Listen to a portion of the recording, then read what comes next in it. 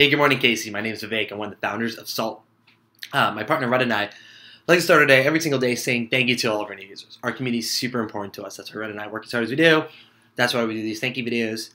But if you missed it anyway, if you have any questions about how to use the app or just want to say hi, we'd love to hear from you. And you can do that a couple different ways. You can just reply to this email, you can put a comment below your YouTube video, or lastly, find us on social media. It's Try Salt on Instagram, Facebook, Twitter. Don't forget the hashtag salted so we reply to your repost too. Last thing, if you've been looking or if you've been keeping a long list of places in a Google Doc or an Excel file or something less convenient than Salt, feel free to send us that list of places. We can actually import all of them into the app for you, so you don't have to do any typing yourself.